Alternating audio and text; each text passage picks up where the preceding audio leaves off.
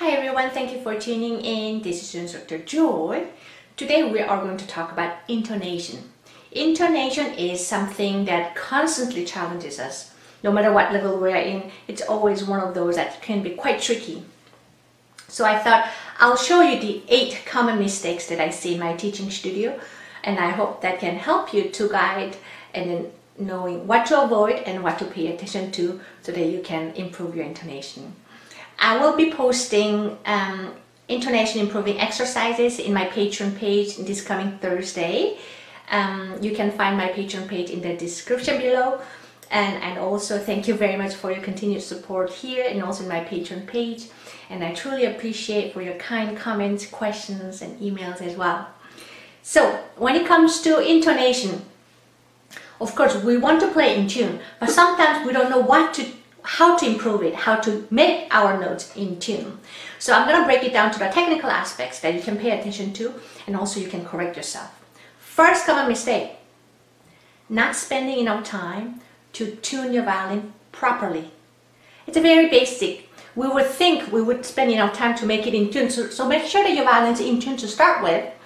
Um, but I find it, especially at the exam or at the performance, um, a lot of violinists, they, they worked so hard, they prepared so well, and then but on the day of audition or on the day of performance, we're a little nervous, we're on the stage, so we feel like everybody's watching, so we just want to tune it quickly and then just move on. Let them wait. It's not worth starting on the wrong note, literally. So just take enough time to tune it. If you feel like a little um, uncomfortable, just tune it a little gently, softly, instead of very, very loud, some do, which is better than starting out of tune violin. But try to tune it a little quietly, but take enough time until your violin is properly tuned. Second mistake that I see is our wrist being bent. This happens a lot, especially um, for violinists who's somewhat new or a beginner to the intermediate violinist. So now we have to keep our wrist somewhat straight, in a relaxed way, not stiff straight, but in a relaxed way, under the violin, right, like this. But one of the common mistakes that I see is a lot of people, not a lot, but some, bend their wrist like that and hold the violin. It may feel like we have more control of the fingertip, but what we actually are doing is we're using only finger muscle to put the fingers on which is we're dismissing the complete support of the arm and then the finger gets tired and then also we have less control over when it comes to extending the fingers. Make sure your wrist is nice and straight so that your left hand is properly positioned. So that especially when you reach the fourth finger, you're gonna need a lot of support of your arm and the wrist. In order to do that, you need to keep your wrist somewhat straight, not bent like this. That was common mistake number two. Common mistake number three Make sure don't, not to squeeze the neck too much. Especially when we're somewhat new or some of us have, have been playing like that with this kind of bad habit and it's really hard to undo. But still it's worth to shake off the bad habits and or relearn it. So the problem with squeezing the neck between our thumb and index finger is by doing that we're already creating a lot of tension um, near the thumb and index finger. What it, it actually kind of handicaps our hand, therefore we're going to have a hard time to stretch pinky and third finger. So that's simply the physically where, where tends that, like that, it's a little hard. So, or also make sure you're not completely holding the violin between your thumb and index finger here and that you're actually blocking yourself from being able to vibrate freely or shift. In order to shift it um, freely, you have to make sure you're not completely touching the neck with your entire hand. You need to make sure you have a little room between your left hand and the neck for relaxed vibrato and shifting, as well as being able to play in tune. Yeah, that was common mistake number three. Common mistake number four.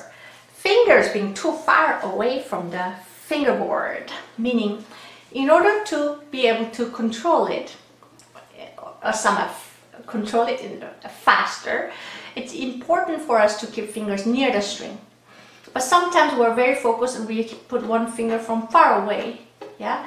not, not only it's from far away, it takes time, but it also takes much more effort. Therefore, again, it makes our left hand uh, tense. Therefore, it's harder to control. It all boils down keeping our left hand with a minimum effort. Therefore, we can control the way we like. Yeah. Make sure the left hand positions is nicely close. A nice guideline would be make sure that all the four fingers are lined same as a string, not far away like that. Yeah. You may be in tune with the first and second finger, but when it comes to third and fourth finger, it's gonna be hard. So make sure you turn your hand a bit towards the pinky so that your fingers are lined as a string line. Yeah? Alright. Now, let's see. Number five, common mis mistakes.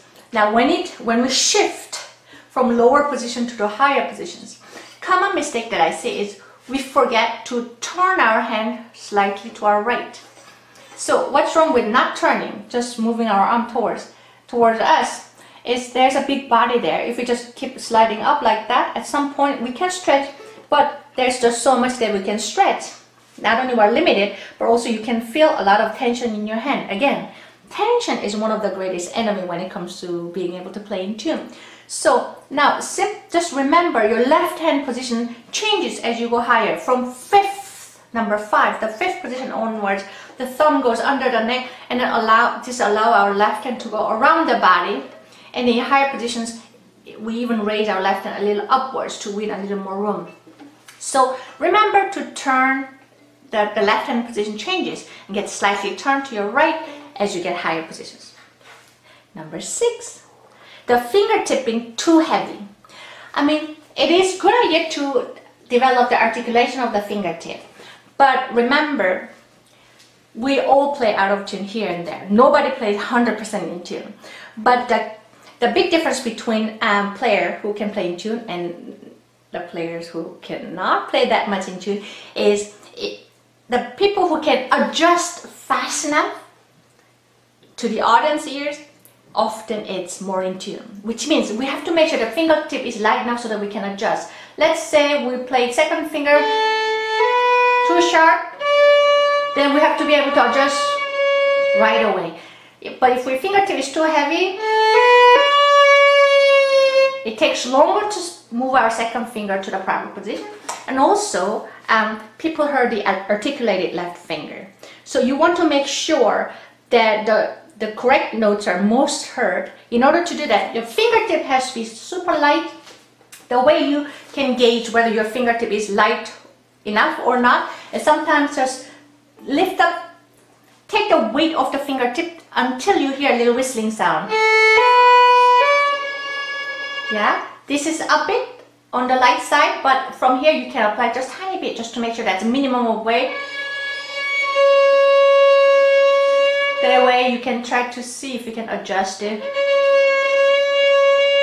Yeah, that way if it's, out of tune, if you happen to be out of tune, you can correct it quick enough before anybody recognized it or heard it. Now, number seven, common mistake. When it comes to double stops, a lot of violinists have habit of building the double stops from the bottom note onwards. Meaning, let's say I'm playing third of F sharp and D. Um, a lot of violinists have like to build the finger, so start putting the third finger first because that's lower one, and the first finger.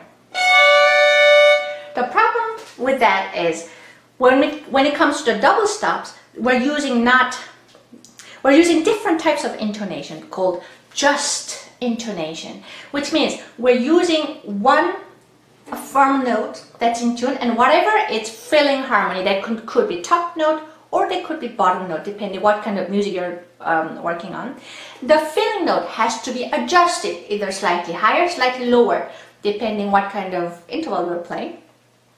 But if we always build the double stop intonation from starting from bottom, then top, now both notes may be in tune, but when I play together, that's not quite in tune.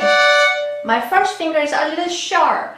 So I have to, you know, if I take the third finger as a primary one, important one, then I have to adjust the upper intonation by making slightly lower.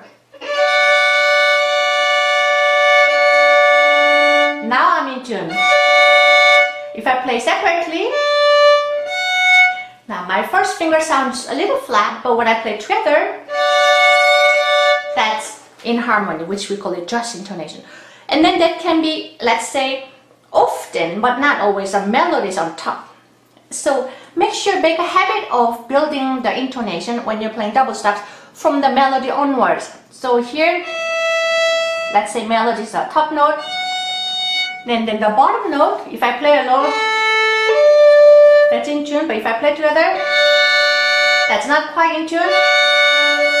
I have to adjust the third finger. I need to make a bit higher towards me. Was a tiny bit adjusted, but still makes huge difference when it comes to playing in tune. Yeah. Last common mistake that I see when it comes to intonation is especially when we've been playing a lot for a specific repertoire, we've been playing many, many times, many months, many years, and we know this piece very well, and then we've been playing in tempo, in performance tempo so much, and then we forgot to listen each note. Let's say we're playing something, we've been playing that one so much, we're just focusing, having fast fingers, but um, we forgot to listen every note. So we have to be careful. In that case, it's worth to break down into separate bow and then listen to each note.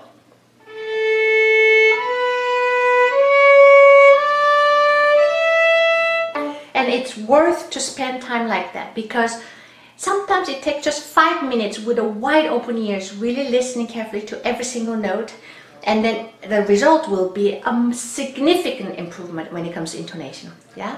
I hope this video was helpful. Thank you for watching and happy in tune playing. Hope to see you again. Bye bye